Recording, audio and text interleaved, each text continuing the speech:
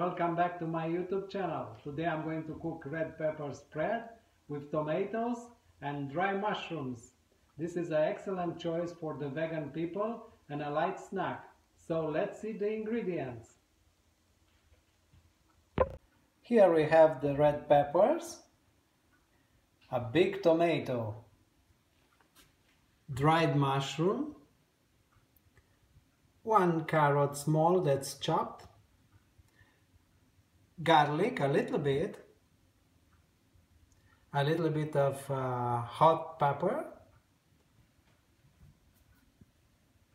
green peppercorn, oil and salt. Now I'm going to cook this in the oven in a ceramic pot because of its efficiency.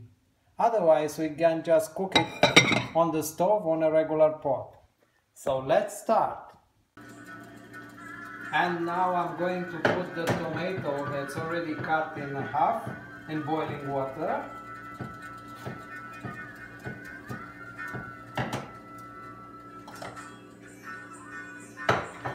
I've already chopped the peppers, the red peppers.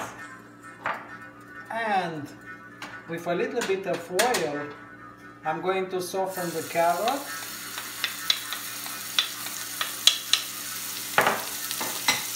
the garlic and I'm going to add a little bit of green peppercorn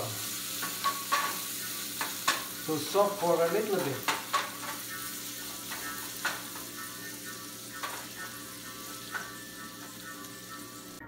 So now I have the tomatoes chopped and uh, peeled mixed with the small mushrooms here I have the red pepper that's already chopped.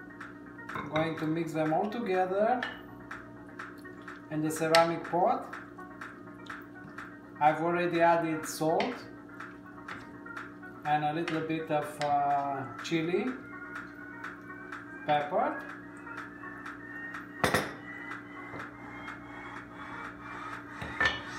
All this nicely will go So here's my final result. I made a canopy of uh, red wild spinach.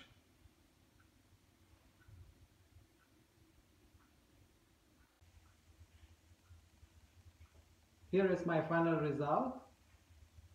I season it with a canopy of red wild spinach. So this red pepper spread can be combined with some other vegan dishes or can be eaten on bread as a snack. I hope you enjoyed my video. Stay healthy, stay well, be lucky and enjoy life. Thank you very much.